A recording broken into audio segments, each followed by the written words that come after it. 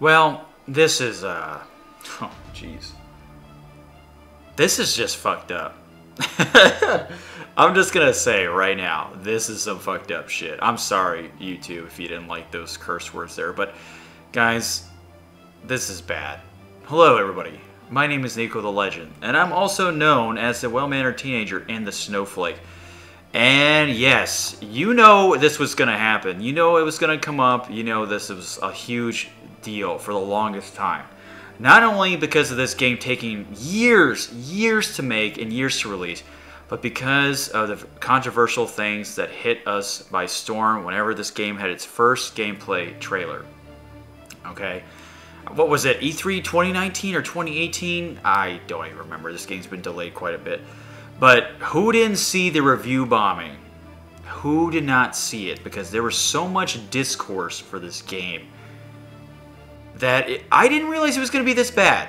Like there was crazy review bombing for Red Dead Redemption 2 because you guys felt a little extra about the horse taking its time and how the game had a lot of weight to it and it's like, you know, kind of you didn't like the prologue because it was kind of slow and stuff. I loved it. I loved all about the game in Red Dead Redemption 2. Um, for the most part, okay. Obviously, there's some things a little bit there, but not enough to ruin my experience entirely. But this is on a whole new level. And look, I am not going to play this game for a while. I'm not going to buy it. I really didn't care too much about Last of Us Part 1. It just wasn't my game. It's like, cool, Niko, uh, good games are not your thing. I'm like, yeah, okay, to each his own, right?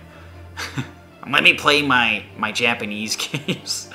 no, but for real, uh, I played this. I played the first game back when it came out on PS3. Uh, what was it? 2011? Or was it 2012? I can't remember.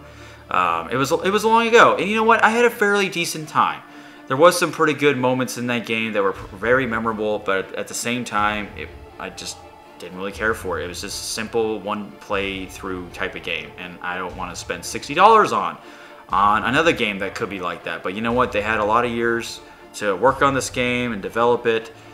And holy crap, it's finally out. So, you know, congrats to Naughty Dog for finally getting out. Now, let's get to the nitty gritty. Um, this game like I said, has been very controversial ever since its debut on the big screen. Back when PlayStation did pretty much its last E3, when it all it showed was just PlayStation exclusive. It showed Death Stranding, Ghost of Tsushima, it showed Last of Us Part 2, and I think there was one more game. It might be out already. I don't remember what it was though. So don't, you know, don't sue me or anything. So that's when it started, though. It all started with the famous moment when two girls, Ellie kissing her friend, her girlfriend, okay? Which, okay, fine, whatever. I don't care. Yeah, there's such thing as lesbians, and lesbians are hot to me. Okay, sue me. Um, now if it was two guys kissing, I have a problem. Okay, guys, I'm sorry, I'm just being stupid. But I, I didn't find it as a big deal, and I'm not like this huge like liberal or LBGT type person, you know, like I, but you do you, right? It's, it's your own business. If that's what you want to do, that's what you want to do. I'm not going to freaking throw rocks or tomatoes at you or get my light out my torches. I, I got better things to do in life. Like talk about this. so, like I said, that's where it all started. And it was pretty much a dumpster fire all the way through because we were seeing, oh geez, I don't know, leaks for the game leaks before weeks, weeks on weeks of what this game brought. And look, I'm one of those people that try to spoil it for you guys on the internet. So, uh, you know, I was trying to get you guys. Because, like I said, I don't really care too much. And a lot of people don't care about spoilers for games, which, like, if it's for a game I'm going to play, of course I'm going to care. But this game, I had no really, uh, you know, I have really no, no care in the world about it. But this is, like I said, this is crazy. So I'm to get straight to it. People are review bombing the game like crazy. Like crazy. Okay. So this was posted yesterday, okay? Yesterday, and the game only had um, a few hours to come out. So overall on Metacritic, we're talking about Metacritic, all right? Anything review bombing is Metacritic. A 9.5 out of 10 critical consensus, okay, from big time critics like IGN, GameSpot, Kotaku, Forbes, Polygon, all those motherfuckers. Uh, but review score at the at the time was a 3.4 out of 10. It could easily have changed now. I, I doubt it, but I think it's like a 3.5 now. Ooh, big difference. Now, that's crazy. You guys are pretty jacked up that you guys already were that butthurt about the game because of certain LBGT stuff. Look, if you don't want to deal with the game, then don't play it. It's as simple as that. Don't go sh- throwing shade and shaming the game because it has political views you don't, uh, I wouldn't say understand, that you don't agree on. It doesn't mean you should throw it shade. What if you thought it was wrong, right? What if you what if you knew objectively it was wrong? You're gonna throw shade at it? You're gonna downvote it or something? You're gonna say that this is bad as EA Play 2020? Oh, got him, man. Those dislikes were real when that shit ended. when that presentation was over, oof, man, that was bad. So now this article lists three points I just want to point out, and we'll dive into it a little bit further. So the game's prominent use of LGBT characters. Yes, Ellie's a lesbian. Okay, big deal. And then there, I think there is a transgender character in the game. I, I think, or someone that's a woman that looks like a man. I don't crucify me, guys. I'm not out to make the you know make the fire any bigger. So correct me when I'm wrong. Okay. Oh, you should have read the article. Shut up. Shut up. Okay. Don't be all high and mighty on your horse. Now, number two, the spoilers for the game that leaked out ahead of time where context free, many people did not like the plot turns revealed. Yeah, oh boy. Hey guys, spoiler. Who would have thought that Ellie and, and uh, Joel were gonna supposedly die? Who didn't see that one coming? Um, yeah, it's called fucking foreshadowing and living with consequences of choices in a fucked up world. I mean, it's very possible. You think that they weren't gonna die or something or whatever you want to call it? I mean, come on, give me a break. Okay, number three. Perhaps some who have played the initial hours and don't like the game, albeit scoring a 0 out of 10 for clunky controls after a few hours seems extreme. Okay, so that's what that's the problem, okay? Like I said, how do you have this time to throw shade at, at a review for a game? Like, how do you have this much time? How are you just so triggered? You just bought the game so you can shame it? I don't get it. And then you give it a zero. Like, are you guys mental? Like, do you guys belong in a straitjacket or something? Like, did you like bash the keyboard with your feet on accident and it just turns out to have been that way? Like, come on, guys, you're better than that.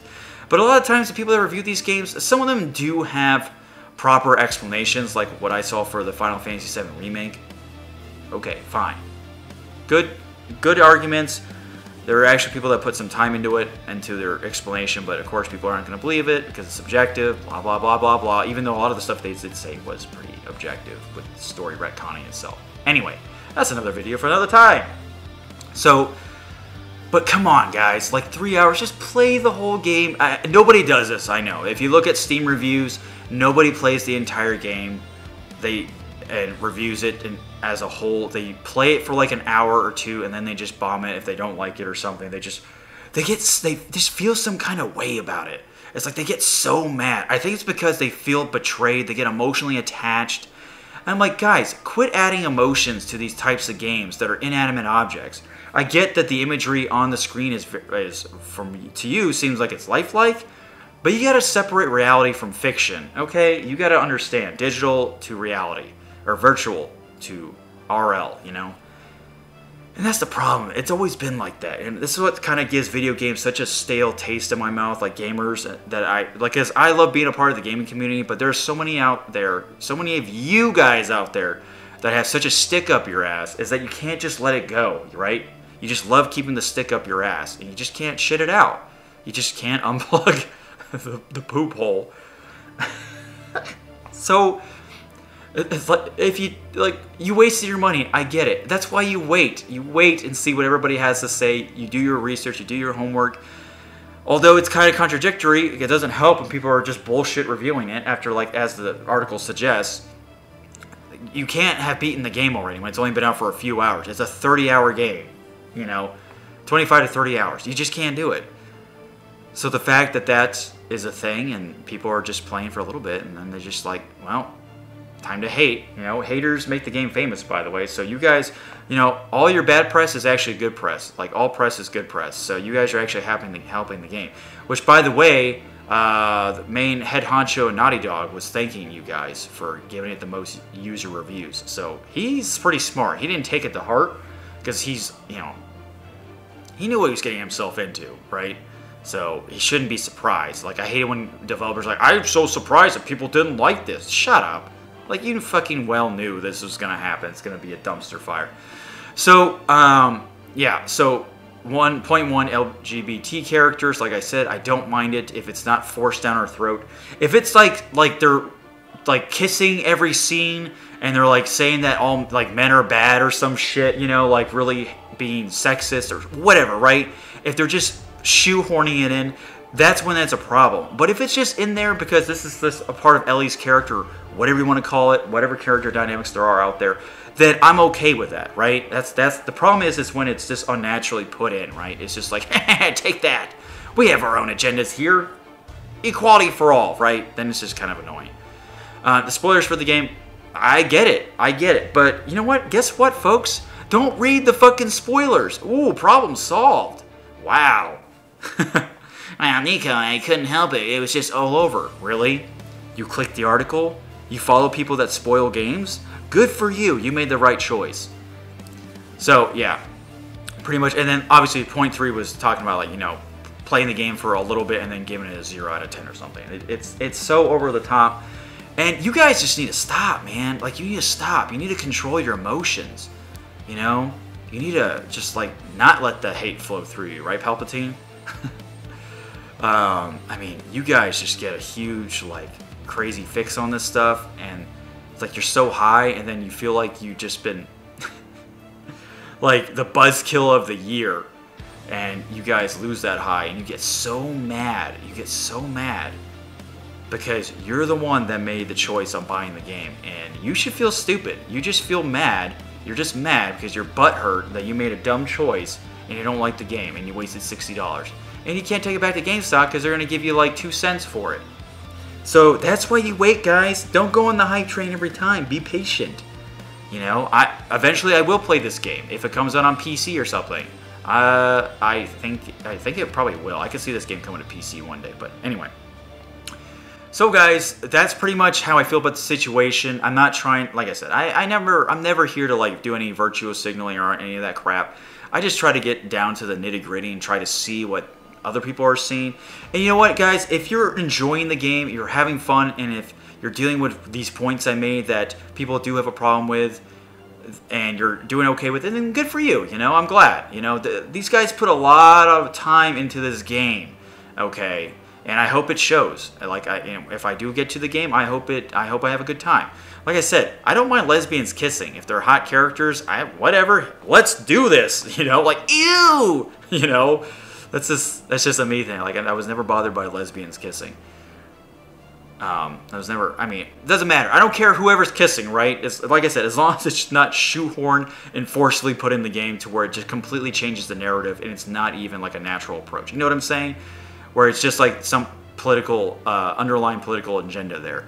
So, for all you guys out there who have bought it, well, Naughty Dog's gonna thank you either way. So, you know, you're just gonna have to put up with it. Put up or shut up hey, send me the game. I'll play if you don't want to play anymore. If you're butthurt about it, fucking message me and shit. Hell yeah. Just don't send a bomb to my house. That'd be kind of freaky. That'd be scary. Or, uh, you know, Negan's bat with Negan in the, in the mailbox. Anyway, I don't know how it's possible. So, guys, let me know what you think in the comments below. Did you think that this game was worth the wait? Did you think the review bombing is. Was it justified? Do you think it's unjustified? How did you feel about all the points we listed? And are you enjoying it, right? That's all that matters. Are you enjoying it? Is, was it money well spent? Was it worth the wait? So, you know where to find me YouTube, Twitch, Discord, and Twitter. Check me out on those platforms. You might not like me even more on certain viewpoints that I have, but we're human beings, right? So, anyway, Pathfinders, you take care out there.